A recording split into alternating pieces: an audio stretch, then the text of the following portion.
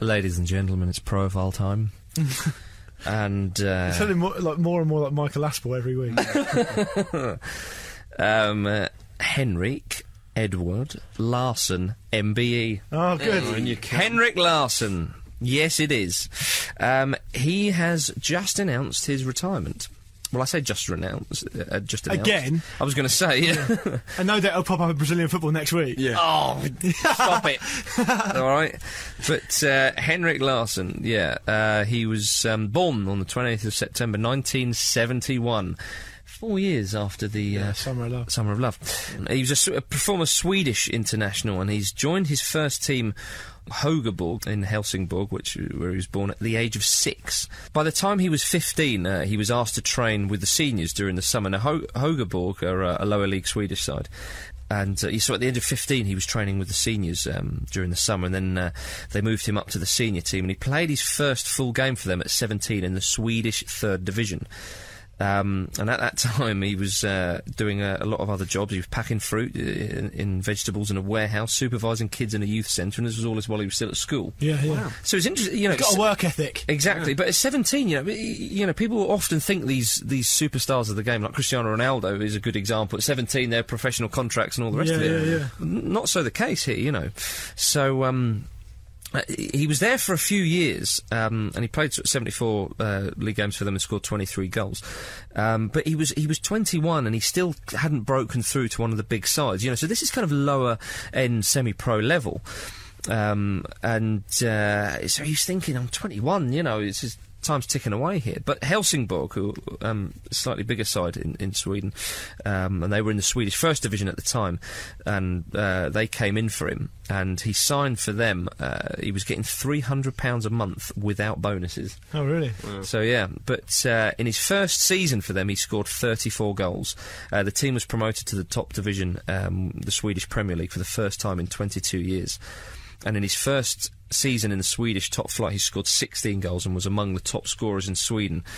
Um, so he had two good years for Helsingborg. He's played about 52 league games for them and scored 48 goals. So he had a great Cracking. scoring record. Well, I hope he renegotiated his contract at Yeah, exactly. Yeah. Getting paid 24 pence a goal. But still effectively playing semi-pro level there. yeah, yeah. um, in in the Swedish sort of top flight. Maybe they became a pro, uh, a pro club then. But um, all this, uh, he got signed by Feyenoord. They came in for him, the big side, in September '93. Um, he'd nearly joined Grasshoppers of Zurich, um, and they were finalising uh, details. But but as Henrik put it himself, with all due respect to Swiss football, there was only one decision there. He cost. Two hundred and ninety-five thousand pounds, and half that fee went to his first club as an agreement. That's good. Absolutely. But he didn't actually join Feyenoord until November um, of 93 because he wanted to make sure that Helsingborg was safe from relegation before he left. Oh, nice. Um, and in his first season at Feyenoord, in, into the Dutch league now, he scored only one goal in about 16 games. So not, not the best of starts, but still, you've got to warm him up. But again, he's in his early 20s now. Yeah, he was there for a while, wasn't Yeah, he? Yeah, yeah. So, um, uh, he, his second season, he scored uh, about 11 goals, um, so a bit of a better season. And, and in 1994, of course, he went to the World Cup finals in America with Sweden. Now, he'd hoped for his place in the starting lineup, but, uh, you know, by his own admission later on, he, f- he felt very tired by come the tournament and he'd lost touch a bit. The first game, he was on the bench, um, because I'm sure we remember Henrik Larsson from, from more recent tournaments, but he was there in 94. No, I remember his dreadlocks. I want to stand out uh, Yeah, memories. yeah. Yeah, I must say. Yeah, very true. They were cool. They were cool, tidy dreadlocks, weren't they? They, They weren't were, messy. yeah, they weren't messy. Back when dreadlocks were sort of all round assumed to be a reasonably good idea. It was like Which that is guy. not the case now. That guy and the guy from Rage Against the Machine had very Yeah, they look similar. quite similar. yeah, yeah. True. Cool dudes. Zach De La Rocha, I believe his name is. Dudes indeed. In the first game, he came on as a, a sub. Um, second game, he started against Brazil. Didn't play too well, though, he said. But uh, in the third game, he was on the bench against Russia, and he said it was such a hot day. It was quite nice to be on the bench because it was air conditioned. but um, uh, eventually, That work ethic. yeah, um, he has come from Sweden, to be fair. yeah, he'd earned that rest, though. I Yeah, feel. Um, Henrik Larsson, Thomas Ravelli, and the boys were eventually knocked out by Brazil in the semi-finals, but they did finish uh, third, and they beat Bulgaria in the third place playoff. And They had a great tournament. yeah, they did a fantastic yeah. tournament. and Larsson scored in that game. So in his first World Cup for Sweden, he's Finished third. That'd have been their best performance as the 50s, definitely. Yeah, totally, totally. So, um, so when he, after the World Cup, um, go, he was at Feyenoord, of course, and, and towards the end of his time at Feyenoord, he wasn't playing too well. The press were getting on his back a bit, and the new manager, um, who was there, because Wim Jansen took him to Feyenoord. Uh, the, the, the new manager was playing him out of position. He was on the left wing, he was on the right wing, he was in midfield. You know, he wasn't too happy there. Um, and uh, th- he kind of said he wanted to move, and uh, after a, a little bit of a legal dispute, he moved to Celtic Park when Wim Jansen moved there. And uh, of course, Wim Jansen, as I said, went took him to Feyenoord. He's taken him to Celtic for six hundred and fifty thousand pounds. He scored a hell of a lot of goals. Six hundred fifty thousand pounds in July '97. Uh, in his first season, Celtic won the league. They stopped Rangers to achieving the 10 in the row, um, and that was 97 98. In 98 99, he was voted Swedish Footballer of the Year, Players Player of the Year in Scotland, and Sports Writers Player of the Year. So, you know, a good time was had by him there. The following season, um, during Celtic's 1 0 defeat in the UEFA Cup tie against Lyon, um, he suffered a career threatening injury. It was a horrific leg break, wasn't it? Awful, yeah. Very, very Awful to visceral, see. Some it. might Yeah. say. Yeah. it was awful in, to see in the 99-2000 season this week, Yeah. breaking his leg in two places, and he was uh, spent eight months on the sidelines after that. Well, it's a miracle he played again. You Yeah. know, It's just an awful, awful injury. It's a very, very reminiscent of the older uh, Eduardo. Well, I don't know. It's a bit different because Larsson was, was on his feet, wasn't he? And you, it's weird. How you, it's almost like you, you just see the bone pop out the side of his leg. It looks like quite an innocuous challenge. At Did he, first. he, It's wrap, not- he wrapped his foot around the other guy's foot, didn't he? And, it's, and, his, and his leg broke. I thought he was just running, wasn't he? I thought he was Yeah, just running, and it just that's sort how of, and it just it. sort Oh, of it? snapped. It sort of fell under it, like it just sort of snapped under itself. And he, it's it's weird when you do see a leg break like that. I've seen a wrestler do that once, and and they sort of put their leg down to plant their foot, but their foot's not there because the, it's Oh, just a God. horrible, horrible Maybe thing I'm that more happened. confused really. then. Sorry, yeah. It was awful anyway, I remember it. But he, he managed to come back, and return on the last day of that season, but uh, John Barnes cited his injury as a, a big factor in why he was sacked uh, by Celtic. Seriously? What, from Tranmere or Celtic? That's right, yeah. That's brilliant. um, um, but he did play at Euro 2000. Um, Sweden went out in the first round, but he did score um, one goal in that tournament. He will against- have done, wouldn't he? Against Italy.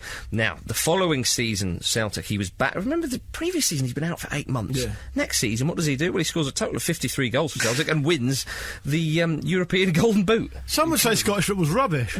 European Golden Boot. Can't argue with that, can you? incredible. Absolutely incredible achievement. And then, of course, uh, when he was at Celtic as well, he helped them reach the UEFA Cup final against Porto, where they lost 3 2. He scored two goals. He said it was the worst moment of his career. He said it was worse than breaking his leg. He was so gutted after that final. bet, yeah. Now, I can remember watching that final. N- now, to put this in perspective, Porto, they were diving, or D- Derlei, I yeah. think it was. He was diving so much. Now, as I said, put this in perspective. Now, as you know, I, I grew up in Scotland, and I tend to err towards the blue half of Glasgow, if I'm ruth- ruthlessly honest with you. And I had a bet on Porto winning, and I was watching that game, and I wanted Celtic to win. Yeah, yeah, yeah, You know, yeah, because it was just ridiculous. And they took so many fans as well, didn't they? yeah, they did. They were fantastic, and Porto were a disgrace the way some of their players. that is for Celtic to get to the what for my final as for well. what to get me supporting them? yeah, yeah, yeah. that isn't it. no, you're right. To get to that final was incredible. And the last one was a massive, massive part of that. Yeah, yeah. It was it was such a shame for them. It really was. But in his in his career at Celtic, he won four SPL titles, two Scottish League Cups, uh, three Scottish Cups, and uh, he still holds the record as the um, the Premier the, the SPL's all time leading goal scorer with 158 goals in his six year spell. Um, in at Celtic, and also he holds the record, I believe, for the most number of goals scored um, for a club from the British Isles in European matches. All right. And in 2002, Celtic fans uh, selected Larsson in the greatest ever Celtic team, and he was the only player from outside of Scotland to make that team. They've had some players down the years as well, so they that's have, they have indeed. Out of four of the six seasons he was in Scotland, he was top scorer. The only two where he wasn't was in his first season and the season where he broke his leg. Here- Here's a little rundown of, of his league form. His first season, he scored 16 goals in 35 league games. Second season, 29 league goals in 35 league games. Third season, 8 goals in 9 league games. Fourth season, 35 goals in 37 league games. Following season, 29 in 33, 27 in 35, 30 in 37. I, I wouldn't be been surprised if when he broke his leg, the bit of leg that flew off. Went in the goal. Just, just scored the goal. just kicked the ball. Get the winning Yeah. yeah, yeah. Well, he played at um, the World Cup 2002. He scored a couple against Nigeria, and they topped the group of death ahead of uh, England, of course. Scored against Senegal in the second round, but that's uh, they went out after that. He then um, retired from international football, but then he came out of retirement for Euro 2004. Um, mainly because the country were just like, "What the hell are you doing?" He cannot stop retiring, Larsson. He Yeah. retired about five times. Well, that's right, He loves yeah. the game so much. Yeah. Um, he scored three in uh, three goals in four games that tournament, including goal of the tournament, which is a beautiful diving header Oh, yeah, I against remember that. Bulgaria. Yeah. they reached the quarterfinals. After the Euros, he was off to Barcelona, Hmm. and I think that was some might say overdue. He had a season there, didn't Yeah. he? He had No, two two seasons. seasons. there. Two seasons was it? Yeah, Would you say that was overdue? I mean, that's no disrespect to Celtic at all. Well, I mean, but- he, he was obviously having a great time there at Celtic because it, cause he, he was scoring freely. But I mean, yeah, he deserved to go to a club of that size. I think definitely. Absolutely. Well, he um, he didn't play too much in his first season. He, um, he scored three goals in 12 games. The following season, he played a bigger part. He scored uh, 10 goals and they won the league again. And of course, in his final game for Barcelona, he won the Champions League with them. He came on as a substitute and assisted um, both of Barcelona goals in the 2 1 win over Arsenal. And he was magnificent in that game. He made the difference. I mean, obviously Yeah, he Barcelona really were did. playing against ten men, but Arsenal were very resilient up to that. Well, uh, it was Larsson that undid them. Well, that's it. Arsenal looked as though they were going to hang on. Yeah. and, and, and win that. But as you say, um, and Ronaldinho said um, when Larsson was uh, due to leave Barcelona, he said, "With Henrik leaving us um, at the end of the season, this club is losing a great goal scorer, no question. But I'm losing a great friend. Henrik was my idol, and now that I'm playing next to him, it is fantastic." Ronaldinho, big shout. that. Ronaldinho, Big shout. that. and Ronaldinho was probably the best player in the world when he said that. Yeah, yeah, yeah. So it's quite something.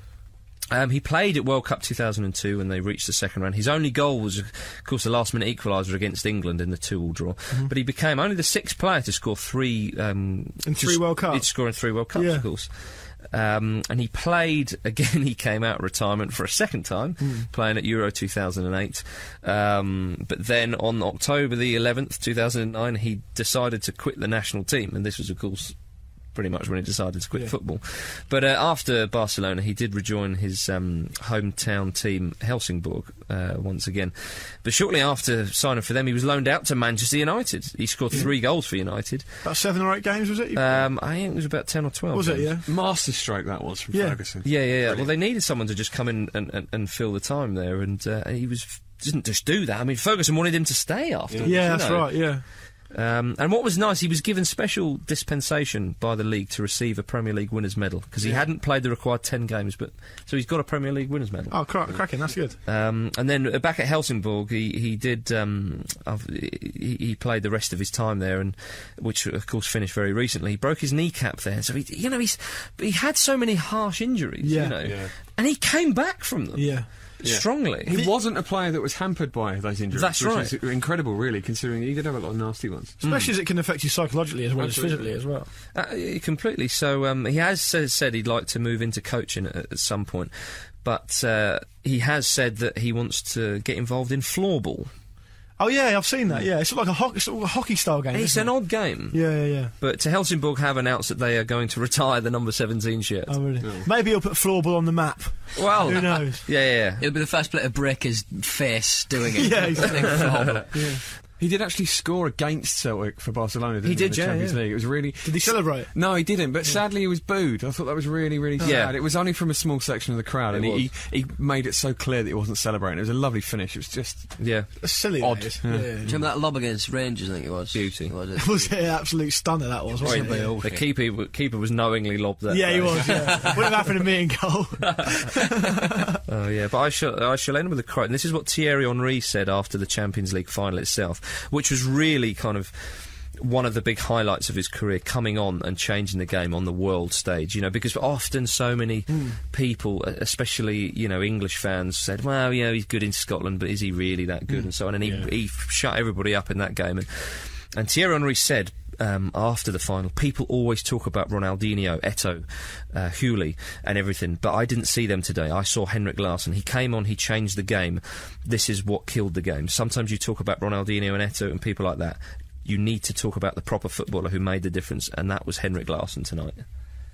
And with Come that, he's in the. Dean Man's Hall of Fame. well done. Get in there.